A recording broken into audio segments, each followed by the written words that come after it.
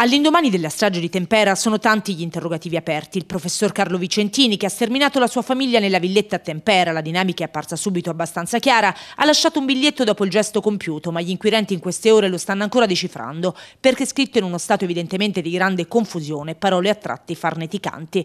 La dinamica appare chiara, come si diceva, il medico nella notte tra mercoledì e giovedì avrebbe freddato i familiari mentre erano a letto, colpiti nel sonno, probabilmente a far scattare il tutto la preoccupazione per le condizioni del figlio Massimo di 40 43 anni con una grave disabilità che si era aggravato negli ultimi tempi ed era stato anche ricoverato in ospedale. Probabilmente la strage era premeditata perché Vicentini aveva detto al fratello di voler trascorrere qualche giorno a Tortoreto. Di recente era stata al poligono di tiro, aveva affidato i suoi cani da caccia, elementi che fanno pensare alla premeditazione. Mercoledì sera gli ultimi contatti della famiglia che aveva avuto amici a cena. Alle due della notte successiva l'ultimo accesso della figlia Alessandra, dietista all'ASLA di Teramo, sul cellulare. Le finestre erano chiuse ma la storia di Tortoreto non aveva fatto pensare al peggio. Poi però i sospetti, una nipote ieri a ora di pranzo, ha deciso di entrare facendo la macabra scoperta. I cadaveri, quattro di Vicentini stesso che si è sparato in testa, della moglie Carla e dei figli Massimo e Alessandra, erano in stanze diverse. Sono previste comunque le autopsie. Tutti parlano di un professionista straordinario ma soffriva per le condizioni del figlio così come ribadito anche dall'avvocato di famiglia Emilio Bafile, il PM Guido Cocco. Chi lo conosceva bene è il consigliere comunale avvocato Guglielmo Santella. Devo dire che eh, a Tembera ci si conosce tutti, è una grande famiglia, quindi quando abbiamo appreso la notizia non ci si voleva credere.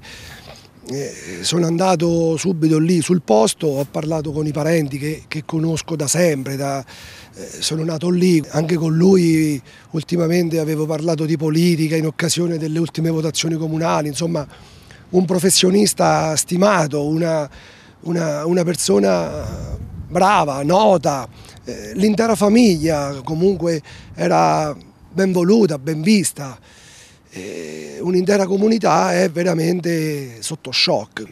Lui viveva una situazione familiare molto difficile, eh, aveva un figlio disabile un, con una malattia molto grave. A quanto pare, sempre questo io ieri ho avuto modo di avere questa notizia, eh, il figlio ultimamente si era aggravato, aveva avuto un peggioramento eh, sostanziale. Eh, a questo si aggiunge anche il fatto che lui in pensione da poco tempo probabilmente avrà avuto modo di eh, stare più tempo in casa, prima lavorava dalla mattina alla sera, quindi forse ecco ultimamente eh, rendendosi conto di questa grave situazione solo lui sa qual è stata eh, la motivazione di questo gesto. Ecco, mi viene solo da fare una considerazione, si ama, si vuole bene ad una persona in maniera così folle, così esagerata, che si arriva al punto di togliergli la vita. Ecco, questo gesto solo lui ecco, sa per quale motivo l'ha fatto, io dico solo c'è da fare silenzio, c'è da rispettare il dolore eh, dei parenti e niente, esprimo cordoglio e che riposino in pace. Il fratello Giovanni non sa darsi pace, la malattia del figlio però lo aveva segnato e fiaccato profondamente. Molti amici raccontano di lui che preferiva stare solo ultimamente. Da poco tempo era in pensione, a chi lo aveva chiamato per delle visite, da quello che raccontano alcuni pazienti, aveva dato il nome di un altro professionista.